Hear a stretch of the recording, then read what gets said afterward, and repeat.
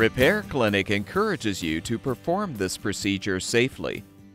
In this video, we will show one or more of these icons to alert you when to use caution. To replace the thermal cutout in your range, you will first need to move the appliance away from the wall and countertop. Now, unplug the power cord. Next, remove the control knobs. You can use wire or string to help pull them off. Use a flathead screwdriver to help remove the top panel retainers.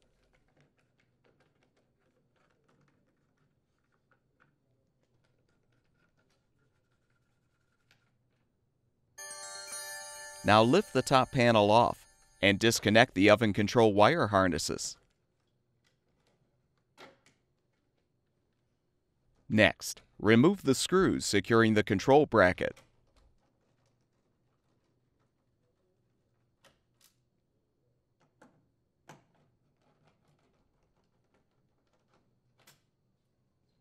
Remove the screws securing the grounding wire as well.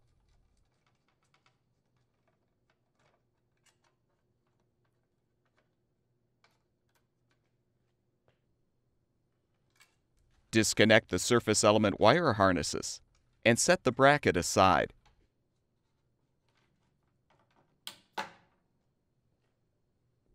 Open the oven door and remove the screws securing the bottom of the control cover.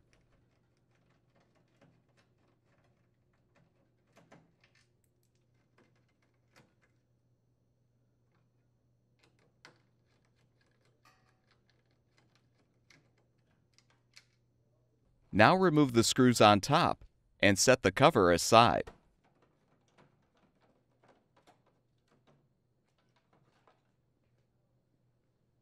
Pull the gasket free of the glass top.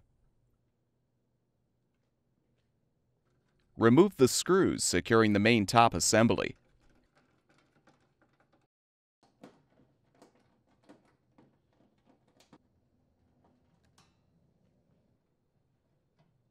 Note the position of the wire harnesses. Then lift the main top assembly up and pull it forward to remove. Now detach the wires from the old thermal cutout. Remove the mounting screws to release the cutout.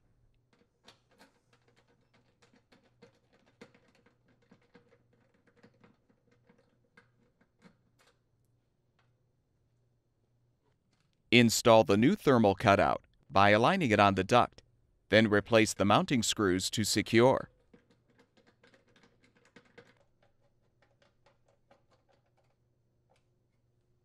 Connect the wires to the new cutout.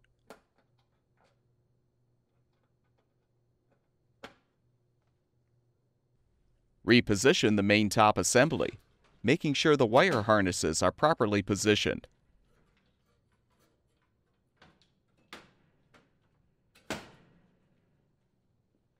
Secure the main top screws.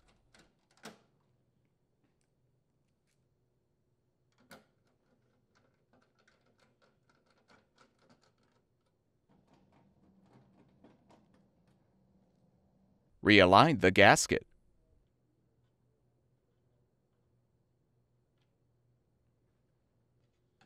Reposition the control cover. And replace the screws to secure.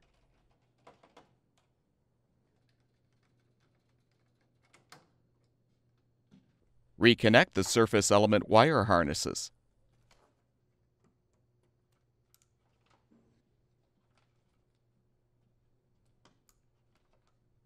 Realign the control bracket.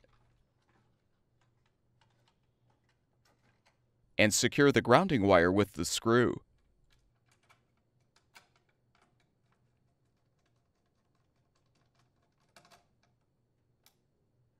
Replace the mounting screws to secure the bracket.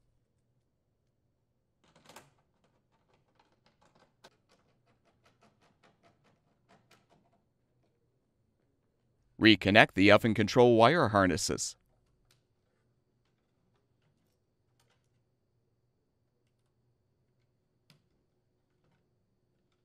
Realign the top panel.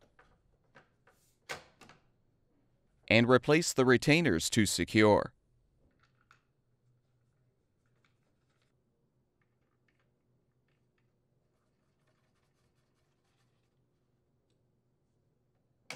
Replace the control knobs.